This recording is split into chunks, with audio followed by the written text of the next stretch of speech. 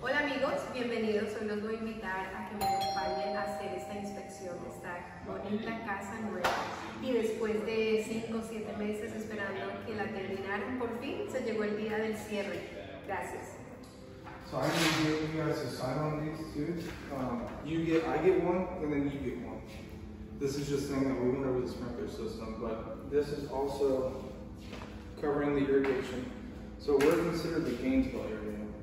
So depending on what time of year it is, this shows you how far or how long you can go without watering your yard. Um, like I said, read through this. If you have any questions, let me know.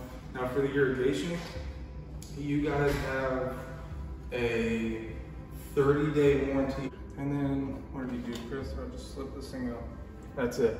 So now you you can put in a dimmer switch. They're like plug and play. Okay. So you just pop this thing back in, push this back in. Yes, sir. You see it right here, serial number and model number. Okay. And then, excuse me, and then for your microwave, it's right here. Your serial number and model number are right here. Okay. And then for your dishwasher, it is right here on the side. And your model too over there. That's it. Oh, okay.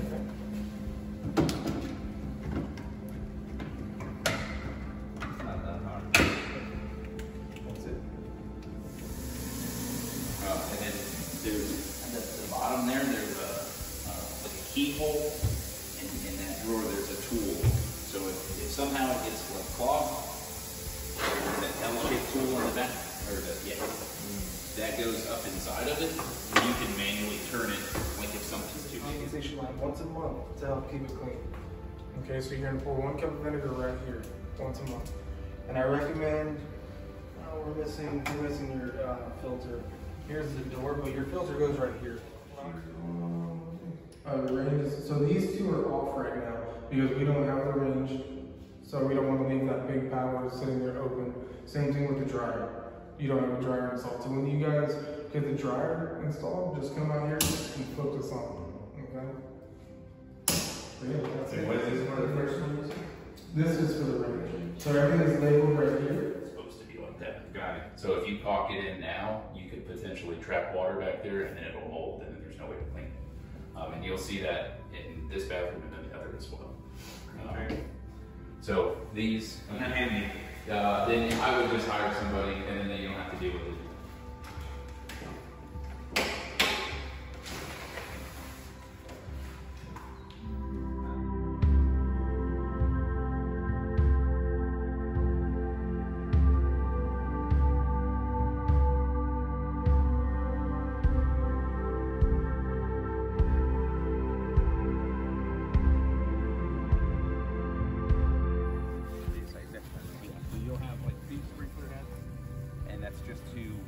Signify that that's reclaimed water. So all of your sprinkler heads, other than like where the trees are, you have just a really small hose that just drips.